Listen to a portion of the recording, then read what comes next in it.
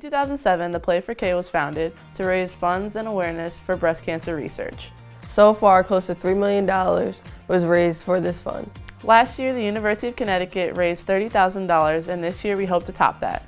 The Play for K initiative is important for women's basketball because it's putting a, a big top five game on ESPN and helping growth of women's basketball and at the same time trying to raise awareness for, for breast cancer across the country. You know, this game is so important because we get to auction off items like coach's tie, our uniforms, and it just helps spread awareness um, for cancer and raise money for everyone. When I come out and see all those fans dressed in pink, it really makes me realize, you know, how much support we actually have for the breast cancer awareness and for, you know, women's basketball. I see a lot of breast cancer survivors out there, women that are going through that, and the fact that they're there to support us playing a game uh, means so much. They're going through something that's way more important than a game of basketball. Yeah!